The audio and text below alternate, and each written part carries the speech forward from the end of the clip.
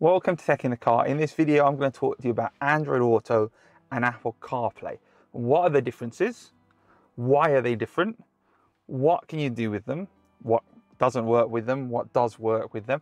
And also, how do they display on this, the beautiful Genesis GV70, which has got a massive widescreen display, which is a really great opportunity to show some of the differences between Android Auto and Apple CarPlay. So what is Apple CarPlay? What is Android Auto? Well, it's very simple most people nowadays have either an Android phone or an iPhone. And instead of having to connect via Bluetooth to send your music and your media and your contacts and your phone calls, Google and Apple both thought it would be much easier to connect the phone at the time via USB cable to the car and to project, to send essentially certain things on your phone screen to the car infotainment screen.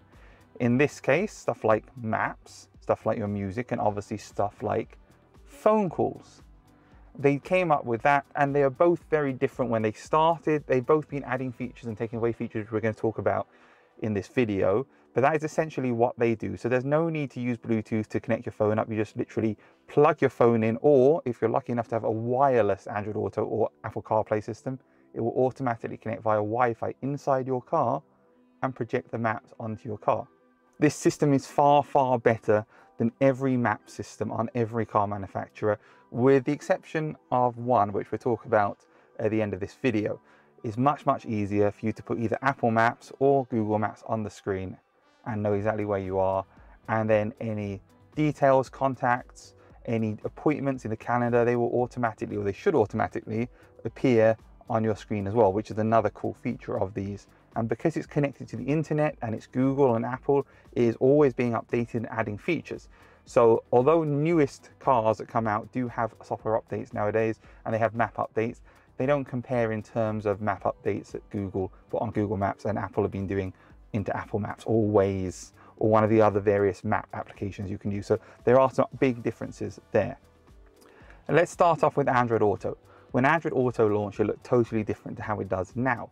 When it officially launched the first time, it showed a vertical display down the middle of your screen and it would automatically put in calendar appointments and anything else, reminders, and it would show it to you on the screen, like a home screen which is giving you an overview of your day's events. It meant that if you had a meeting scheduled for that day and you'd saved it into your phone, or even if you'd searched for it in Google Maps, it would automatically show up on the screen and all you had to do is tap the little navigate button and it would appear. It was a really, really easy way of doing things. And in actual fact, I really miss it from the current way Google do things. When Apple CarPlay launched, and it always has stayed this way, is essentially a replication of your home screen with massive icons for your apps. Now, Apple a few years ago decided to slightly change it up and they added a home screen where if you scroll to the right, to the left side of your apps, you would then get a overview which showed your maps, and your music and your media status. So they added a bit of a home screen that you could go between the two and see what was going on in one place. You didn't have to keep going between the two. I've covered a lot of cars on the channel and maybe you want to get the latest new car. Well, I've partnered with exchangemycar.com to give everybody who watches my channel a great deal. With exchangemycar.com, you can sell your car or you can part exchange it. If you sell your car, they'll come to your home and collect the car. The price you're given will be what you get as long as you describe your car accurately and they'll pay for your car by electronic transfer before they drive away. And if you want to part exchange your car, they will sort it all out for you, clear the finance, and you can choose from over 80,000 cars from trusted dealers. ExchangeMyCar.com is a smart way to sell your car. Click the link below and you can check out what you can get for your car. Google then changed the way it looked to look like this, where you have a map overview when you open and then you can tap on the home button and you can see your various apps. And that was basically how Google decided to do things. And then at the bottom of the screen, you've got your voice icon, so you can tap on it, or you can just hold the button on the steering wheel to use Google. And I'm gonna demonstrate the Assistant versus Siri in a little bit. And then you have your notifications icon at the bottom, which will show you if there are any notifications. No notifications right now. And then you've got your widget for your media. And what's great about this is it lets you go between your music and then your maps will show up at the bottom here and then you can tap to go back to your maps. So if you were to go somewhere, you'd then show at the bottom of the screen. So then I can swap between my maps and my music like that. I'll using a little scroll wheel at the bottom if your screen is far away. That is what Android Auto let you do. And then I could go between various different apps as well. And then at the top of the screen, you would have your signal, your Wi-Fi connection if you connect to the Wi-Fi, the weather and the time. Now, on certain car manufacturers, the way Android Auto displays is different. On this car, on the Genesis GV70, you'll see here that we have a space where it says Android Auto and it says my phone and there's nothing else there. And then at the side of the screen here, we have widgets that you can scroll through on this Genesis system.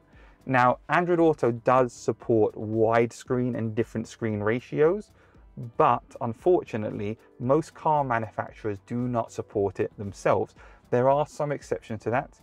BMW and Mercedes with their latest infotainment systems do support different ratio Android Auto and Apple CarPlay. And we're talking here about widescreen, different ratio Android Auto. For whatever reason, Apple CarPlay seems to be supported in widescreen mode on every car manufacturer, no issues at all. On BMWs, it looks different to Mercedes, which also looks different than on a Mustang Mach-E, which I've also done a video on recently, which has a different display as well. So there are differences with what Android Auto can show on these different wider screen displays which support on Android Auto, you'll get your widgets down the side of the screen and still get the full maps, which looks a bit more like maybe what CarPlay is doing.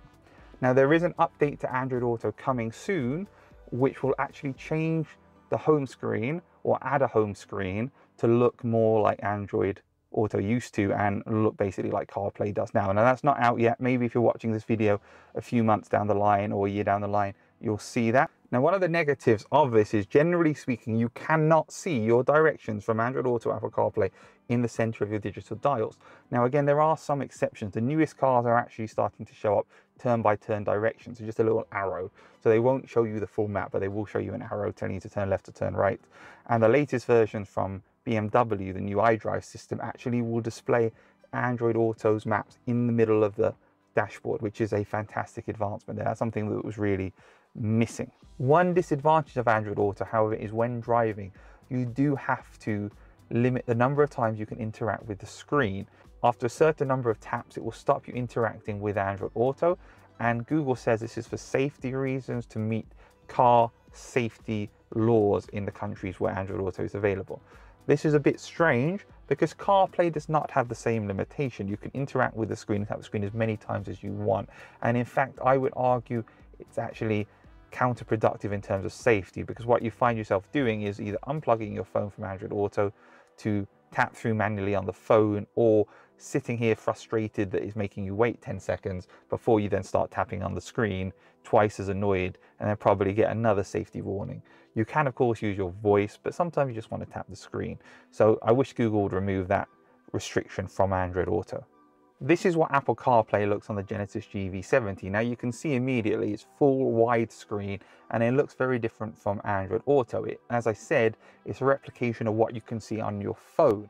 If we slide to the side, you get a widget overview which will show your maps and the internet is a bit dodgy where I am so that's why it isn't fully giving you that satellite view but you can see clearly what's going on here. You've got your media and you've got your navigation options and then you've got your quick buttons down the side where you can swap between your most recent apps. And then you've got a button here to go back to your apps. And then we've got this button here to go back to your home screen as such. So that is what CarPlay looks like. And again, we can swipe to the side and we can see all the apps. It looks exactly the same. Let's do a comparison now between Android Auto and Apple CarPlay with the voice assistant. So I'm going to give you some examples with Google. Hey Google, where is the nearest Starbucks? Showing results for where is the nearest Starbucks. Hey Siri, where is the nearest Starbucks? Here's what I found.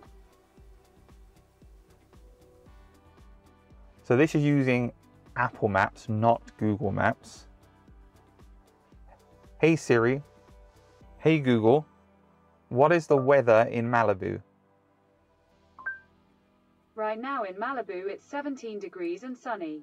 Today, it'll be partly cloudy, with a forecast high of 19 and a low of 14. What's the weather in Malibu? It's currently clear and 17 degrees in Malibu, California, the United States. Expect mostly clear skies starting in the morning. Today's high will be 22 degrees, and the low will be 15. My weather data is provided by the Weather Channel.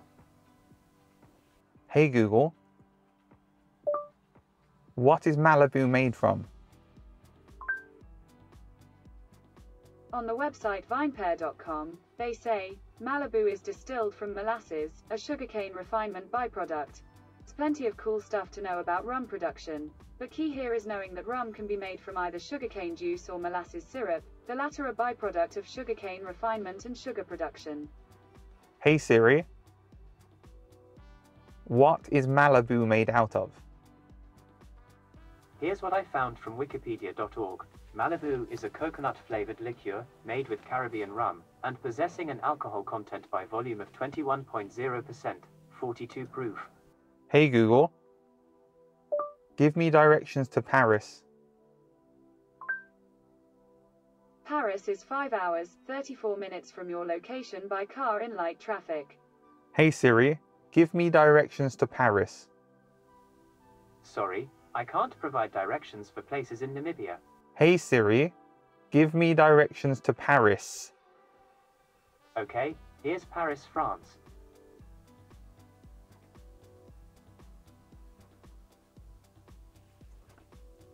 Hey Google, what is 577 multiplied by 56 divided by 4?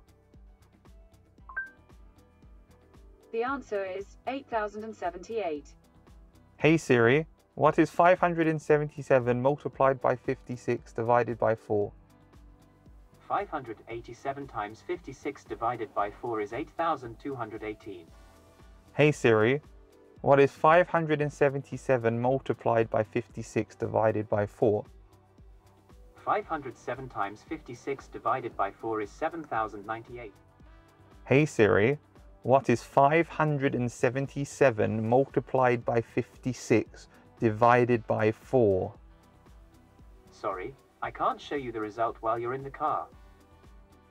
So, I mean, you can hear there, I asked it three times and it still is not giving me the right answer, which is a bit disappointing. Hey Google, who is the president of France? The president of France is Emmanuel Macron. Hey Siri, who is the president of France?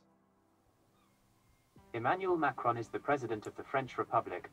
Hey Google, how do you say I love driving in Italian? In Italian, that's Amo guidare. Hey Siri, how do you say I love driving in Italian? In Italian, love driving is Amo guidare. Hey Google, play Hang On by Need to Breathe on Spotify. Hang On by Need to Breathe, sure. Playing on Spotify.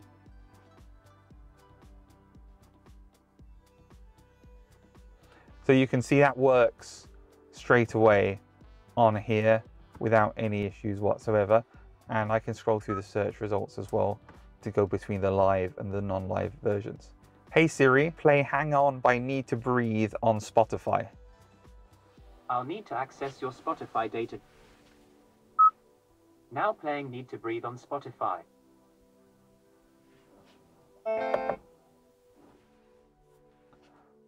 I turned off the music there because obviously we can't have music playing on YouTube because I'll get copyright notifications. But you can see that Siri working with Spotify. Hey Google, set a reminder for tomorrow at 2 p.m. to check Android Auto out. Alright, I'll remind you tomorrow at 2 pm. Hey Siri, remind me at 2 o'clock tomorrow to check CarPlay out. Okay, your reminder is set for tomorrow. So you can see that Siri struggles with voice recognition, even though obviously Apple sell it as a massive feature of the iPhone and a benefit of using Apple CarPlay. It's not as good as the Google Assistant. Google does have an advantage, so that's to be expected. But that's one of the reasons why, despite having an iPhone and an Android phone, I would rather use Android Auto. One other disadvantage of CarPlay is I cannot go into Google Maps using Siri. I have to go into Google Maps, as I'll demonstrate here. And then after I'm in Google Maps, I then have to use the voice controls in Google Maps by tapping the search button and then tapping the voice button. Where is the nearest Starbucks? Where is the nearest Starbucks? Where is the nearest Starbucks?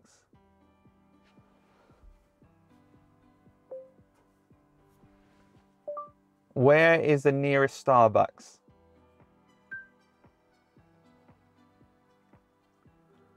So again, because it's not natively incorporated into CarPlay, using Google's voice functionality doesn't work as well. So another disadvantage in my opinion that CarPlay has. But anyway, that is CarPlay and that is Android Auto compared. Now, let's do something else. Let's talk about what's coming and another alternative infotainment system. So the latest cars from Volvo, Polestar, General Motors in America, and other manufacturers to come run on something called Android Automotive. Now, Android Automotive is Android built into the car infotainment system. It means the whole system is running on Android. It means that Google Maps, your music and everything is the full Android apps. It means a Google Assistant is built into the car. It means that you have everything you can want, including the maps in front of you on the digital driver's display without having to connect your phone. Now, the disadvantage of that is if you have an iPhone CarPlay is not as yet available on any infotainment system that runs Android Automotive yet. The same thing actually with Android Auto. Some people like to have Android Auto on top of Android Automotive. I don't really know the point of that, but again, not available. Car manufacturers such as Volvo and Polestar have said it is coming, and I'm sure that is the case too. If you look at the latest cars from GM in America, such as the Hummer EV, that also runs on Android Automotive, and there is an icon for Android Auto and an icon for CarPlay on there. So there are ways to put them onto your car if you want to use them. However, I would say if you have an Android phone, you don't really need Android Automotive because Google will sign you in to your account and everything will already be pre-populated there. So there isn't really a benefit to do that. However, the disadvantage is right now, if you use Android Automotive, you do have to use Bluetooth to connect your phone to your car. And that is the only way to get those phone calls onto your car. And that is a disadvantage. It works obviously fine, but it doesn't take advantage of the capability that you get in Android Auto and Apple CarPlay. So to summarize, Android Auto and Apple CarPlay allow you to send information, your music, your phone calls, your contacts, your messages from your phone to the car by plugging them in or in some cases wirelessly using wireless Android Auto and wireless CarPlay. Different cars support different kinds of CarPlay and Android Auto. They may or may not have wireless connections. They might require you to plug it in with USB. They may or may not have widescreen or different aspect ratio versions of Android Auto and Apple CarPlay. But fundamentally, the functionality is the same. You can put your phone onto your car. Google Assistant has a better voice system than Siri, which means you'll be able to access your phone calls and everything better. But obviously, if you have an iPhone, then you don't have much choice in the matter you will obviously learn what Siri is good at and what it's not good at, and it will improve as it has improved over time. Just like Apple Maps doesn't have as much information as Google Maps all over the world, but it is coming as Apple Update Maps as well. So that is the overview. My preference, Android Auto, because it works better with voice when driving. You don't want to be repeating yourself. Hope you enjoyed this guide to Android Auto and Apple CarPlay. This is a Genesis GV70, as I said, and watch my full review on this car. Please give this video a like, subscribe for more on the channel, and if you have any questions on Android Auto or Apple CarPlay, let me know down below. Thank you very much for watching.